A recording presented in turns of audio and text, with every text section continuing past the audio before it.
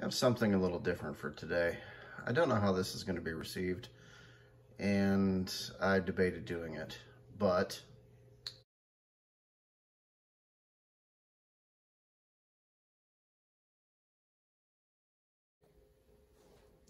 looking at the state of our world today, it's really more important now than ever that I think we take some lessons from the Bible.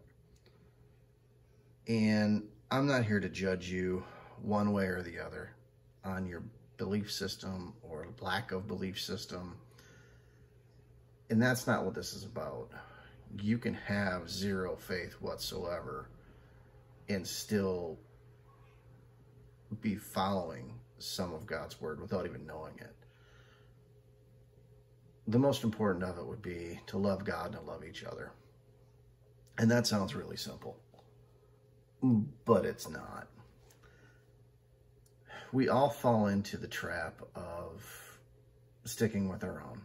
And I think that's a mistake.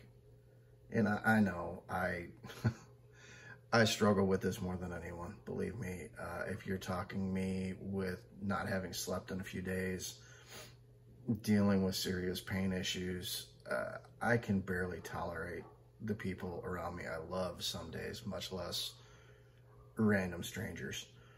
But I think it's important that we need to offer help to those when we're able to. And not just, oh, well, they go to my church or they're one of my friends. If you're able to offer help, I think it's important that you do so. And by doing that, you might unknowingly reach and touch somebody that never had that outreach before. And I'm not saying to preach to them. I'm simply saying reach out to them. If you know somebody with PTSD who's having a rough time, check up on them.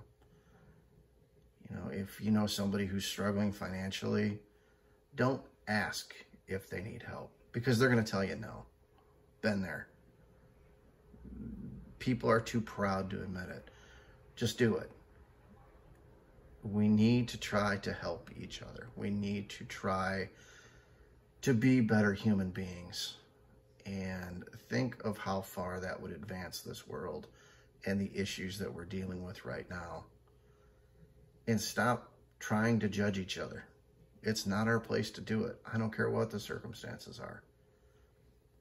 We don't have the authority to place judgment on each other for any reason.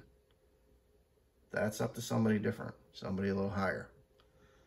Our job is to love each other, period. Sounds really easy. It's not.